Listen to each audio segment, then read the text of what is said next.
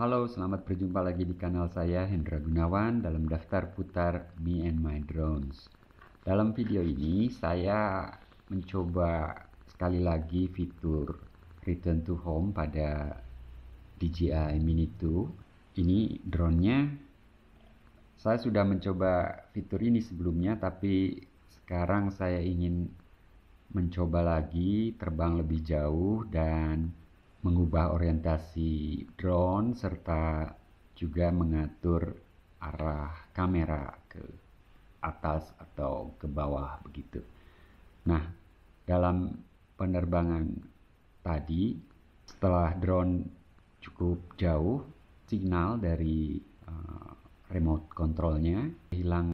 Tapi kebetulan memang saya ingin mengaktifkan return to home dalam jarak kurang lebih 700 meteran juga sih. Jadi pada saat itu ketika sinyal hilang dari remote controlnya drone-nya sendiri pulang secara otomatis.